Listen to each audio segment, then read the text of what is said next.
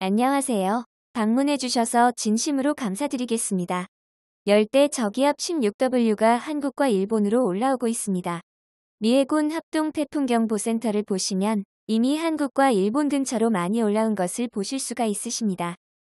열대 저기압 16W의 진행 상황을 보면 8월 22일 금요일 오전 3시에 30노트, 21일 오전 3시에 40노트 22일 오전 3시에 40노트 23일 오전 3시에 30노트 24일 20노트입니다. 8월 20일부터 24일까지의 중심 북은 최대 풍속을 보면 열대 저기압으로 보여지며 태풍으로 발달할 것으로는 보여지지 않습니다.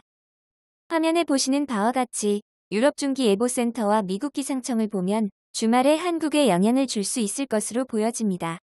8월 21일 토요일에는 16W 열대 저기압의 습기가 중국에서 다가온 저기압으로 유입이 되면서 결국 많은 양의 수증기로 인하여 한반도에 많은 양이 폭우가 주말에 올 것으로 보여집니다.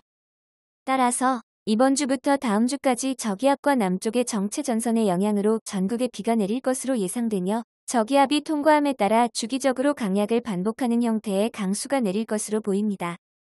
특히 주말인 21에서 22일에는 일본과 중국에 일주일 사이 1000mm 넘는 비를 뿌린 기상인자가 한국으로 모여들어 전국에 비가 내릴 것으로 보입니다. 특히 제주도와 남부지방은 폭우에 대한 대비가 필요합니다. 따라서 중국 산둥반도에서 발달한 저기압이 우리나라에 들어오면서 정체전선에 수반된 비구름대를 끌어올릴 것으로 예상이 되며 저기압이 빠져나간 뒤 다음 주 초반에는 북쪽으로부터 찬 공기를 지원받은 저기압이 한 차례 들어오면서 오는 24일까지 비가 이어질 것이고 남부지방과 제주도는 24일 이후에도 계속해서 비가 이어질 것으로 보여집니다. 시청해주셔서 진심으로 감사드리겠습니다. 구독과 좋아요 알람 설정을 꼭 부탁드리겠습니다. 이 채널을 운영하는 데에 큰 힘이 됩니다. 감사드립니다.